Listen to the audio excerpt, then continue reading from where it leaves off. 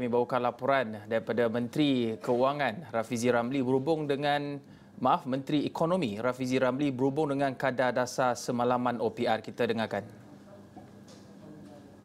Sudah tentu kerajaan dengan bank negara bekerjasama dan juga ada kesepahaman. Cuma kita juga berhati-hati untuk kita menghormati bahawa perlu ada timbang tara dari segi penetapan kadar pinjaman OPR itu ataupun yang yang kesan dia sebenarnya ialah untuk mengawal aliran wang ke dalam ekonomi.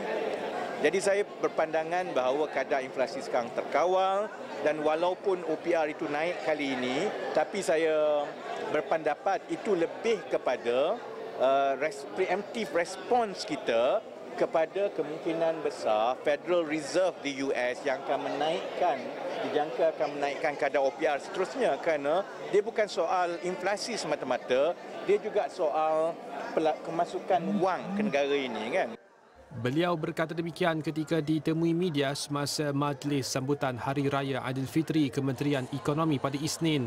Rafizi mengingatkan bahawa ekonomi global ketika ini sudah beralih kepada ketetapan seperti sebelum pandemik. Oleh itu, sekiranya OPR tidak dinaikkan, ia berisiko menyebabkan pelaburan tidak masuk ke Malaysia. Seterusnya, ia juga boleh menyebabkan mata wang negara terus melemah. Natijah yang lebih parah, jelas Rafizi, ialah situasi tersebut boleh melonjakkan harga barangan keperluan rakyat. Kalau kita tidak sesuaikan kadar kita dengan pasaran dunia, itu akan membawa kesan lain terutamanya risiko dana atau portfolio pelaburan itu keluar yang akhirnya dia akan melemahkan mata wang dan akhirnya mengurangkan pelaburan dan kalau kurang atau lemah mata wang itu, dia secara tidak langsung juga akan menaikkan juga harga barang kerana kita mengimport.